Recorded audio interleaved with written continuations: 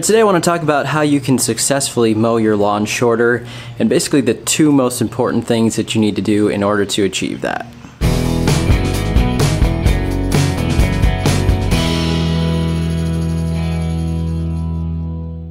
So there's tons of people around my area that mow their lawn pretty short, so why do most of them look brown and kind of stressed out compared to mine that's mowed at an inch and three quarters? There's two main reasons for this, and a lot of people don't realize how important that mowing is in order to achieve a certain look in your yard. So first off, a lot of people now are knowing that if you mow your lawn taller, there's a lot of benefits to that. It's going to be less weed pressure, it's not going to be as stressed out from heat and the sun, you're shading the soil a little bit more, so all those things are helping to keep your lawn really nice by mowing taller. But there's also one other important thing that you need to remember when you're mowing taller, and that's that it's much easier to follow the one-third rule.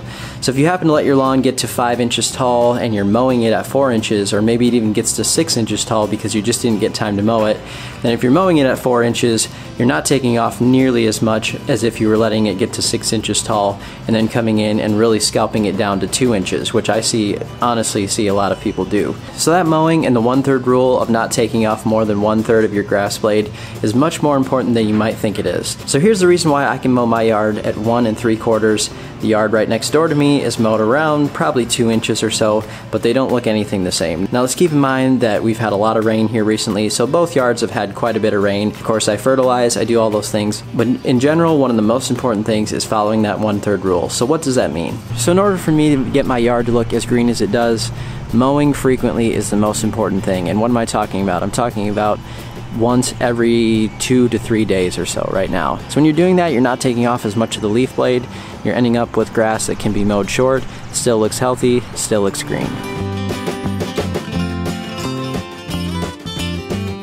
And there's one more tool that's very specific for mowing short, and that is this thing right here. So this is the plant growth regulator. And for a long time I thought, I don't really want to get into all that crazy stuff with lawn care. I just kind of want to mow my yard and fertilize and have it look nice. But once I started doing a little bit more and reading some things about how these products can actually really help your yard, I realized that maybe I shouldn't be so scared of it and I should give it a shot. So I tried this this year.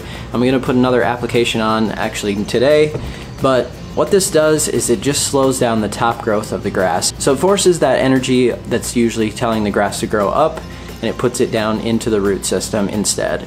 So this helps us with a lot of things. Not only do we not have to mow as frequently and we can follow the one third rule much easier, but especially if you're mowing short and you need to mow more frequently, this is going to help you a lot to make sure the grass doesn't get too far ahead of you and you don't end up stressing it out. So this really is a cool product. I used it about three weeks ago or so and I was pretty amazed at how much it slowed down the grass.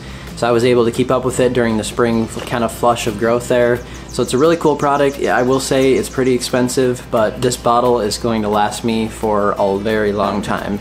I'm only putting down, I think my first application was around 3 fourths of an ounce for each 1,000 square feet. So I have not tried this in my backyard at all. I'm thinking maybe next year I might try it because my bluegrass tends to get ahead of me quite a bit back there in the spring it gets really wet and then I just can't mow it as often as I need to. So I might try that. So as far as mowing short, this thing is gonna help you a lot and I'll have a link in the description below if you'd like to check it out.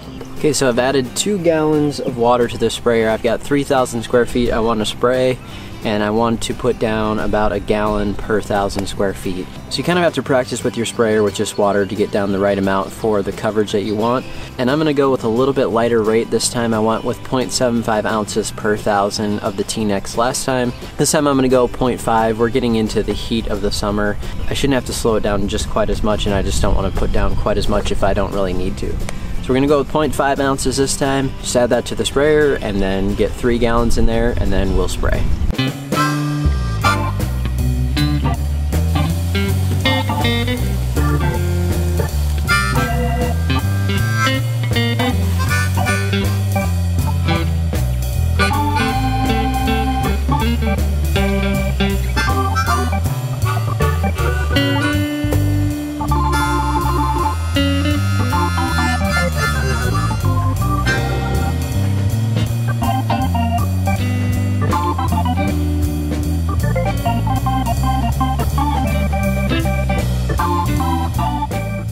It's also really nice to have stripes to follow if you can. It's about a double wide stripe for the sprayer is nice to follow because it's about the exact same width.